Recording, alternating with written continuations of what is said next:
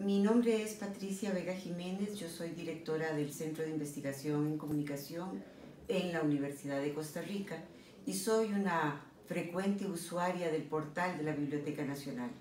Ese portal encierra un verdadero tesoro para las personas que quieren reconstruir la historia de este país.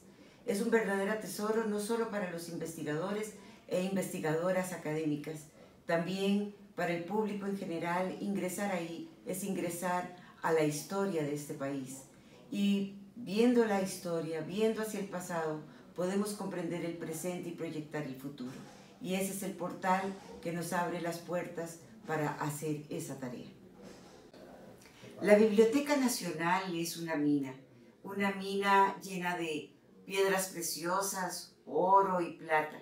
Es una mina de conocimientos, es una mina que definitivamente le abre el espacio a la mente humana para insertarse en el mundo del conocimiento. La Biblioteca Nacional es, para todas las personas que la conocemos, un verdadero tesoro.